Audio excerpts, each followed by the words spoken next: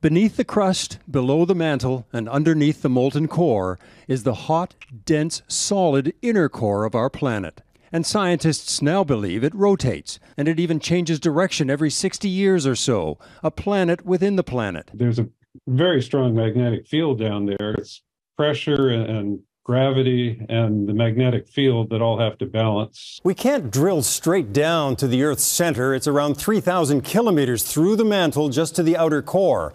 But scientists at Peking University in China found that seismic waves from earthquakes showed the Earth's core rotating, but also slowing down, and that it stopped just over 10 years ago and appears to be picking up speed, rotating now in the other direction.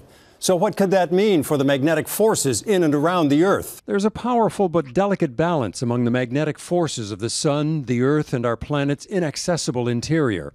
A magnetic field protects us from the Sun's radiation. We see the interaction of the solar wind and our magnetic fields in the northern lights. The study's authors suggest the core rotation fits with the 60 to 70 year patterns on the Earth's surface, shifting sea levels, global mean temperatures, potentially tiny changes to the length of the day, an ebb and flow between the inner Earth and the surface. It will fall to the ground. We've long tried to understand the forces beneath us. Words, it will fall in this direction, toward the center of the Earth. And when Hollywood heard about it, the core of the Earth has stopped spinning. Well, you can guess how that turns out. Microwaves will literally cook our planet. Without its internal convection, Mars lost its magnetic field, its heat, and went cold. That is not happening here. But if we can predict the subtle shifts down below, we could ultimately prepare for the effects up above.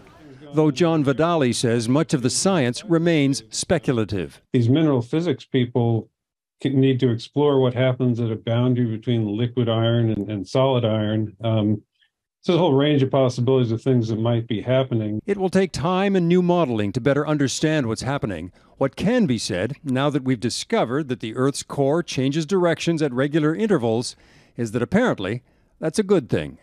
Eric Sorensen, Global News, Toronto.